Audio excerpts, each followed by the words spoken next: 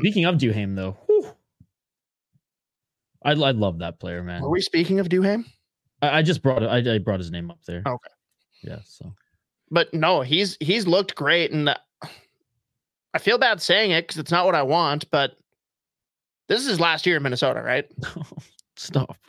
Like, let's be real. They re-signed Foligno. Those, what it's it's the fact that all of them got those deals. There is no He- spot for him. If And you he's gonna want a deal like that. guys to get in, like, well, I don't think he wants a deal like that, but he's gonna want a longer deal, and he's gonna want it to not be a million dollars, right? No, like, no. there there isn't a spot for him, and it's sad. Like I I posted his goal and said like, "Yo, Penguins fans, like, we want to fix the bottom six next year. Here's a guy to target." I don't know. It's it is sad, but the writing is absolutely on the wall. Like I don't think there's anyone that's more glaring of an option to not be returning than him. Or correct Yeah. me if I'm wrong. No, no, you're right, and especially if like he continues on this trajectory, if he actually, it, it- but i- i- if he has a good season, the Wild cannot afford him. So it's like it's it's a blessing and or it's it's a blessing and a curse right now. Well, but it's not even a matter of affording him. Like, can you non financially, but can you actually afford roster space wise to keep him? Just, I mean, I think I I think they, they, there's there's room for him in the bottom six. so you're literally going to have the exact same team next year.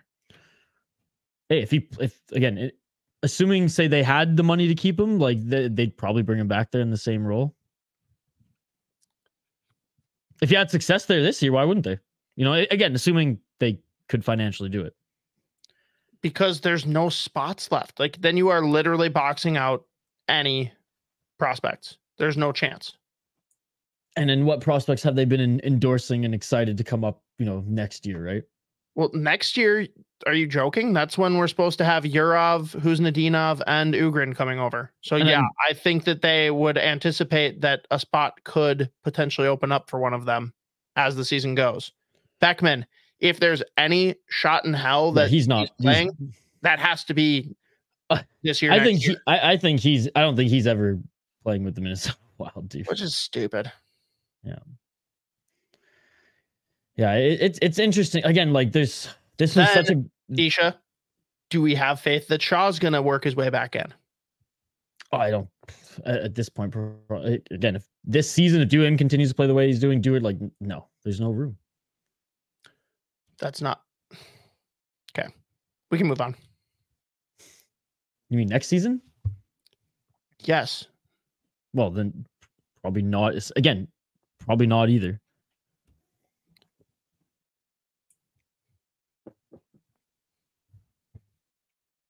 So like, you don't think there's a world again that they they bring him back at all? I am super skeptical that it could be a thing. Yes. Because again, Okay. We just talked about Shaw. If he rehabs and plays well, he's going to take a cheaper fucking deal. And he is going to fill what you need on a fourth line role. Are you going to give Duhaime a chance to play on the third line? Not the way it's looking right now. I think Duhaime Right. leaves because Duhaime doesn't want to be pigeoned on the fourth line. Right. Period. And like, And I don't probably- think Wild want to do that either. So and they probably and they probably don't trade him this year because if they're he's he could be a good playoff asset once they you know they make it there and actually help them. Totally. No, and Yeah. make no mistake, if it turns out the Wild are not going to make the playoffs, that's a guy that you got to move because there's value there. Unless Yeah. unless you are going to keep him, right? Like It's just this the fucking contract signings. unlikely. It's it was it's like it was a it was a big catalyst to like how the next year and two are going to shake up. Yes. No, it it has basically locked in how that's going to go. Which is so funny because like before it all happened, we had an episode where we were like, we can only keep one, and this is why, or two max, and then they ended up keeping three, and it's like, oh, for fuck's sakes. Yep. And again, in isolation, I understand all three deals. It's just the fact that all three happened seems a little misguided. But Yeah.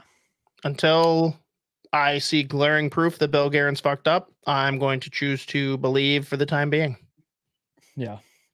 It's just it's frustrating, but again, we small sample size, we'll see. You know, we, we all could be singing his praises if they get past the first round and go on a run, and it's like, okay, this this is the core we needed, and so we'll see.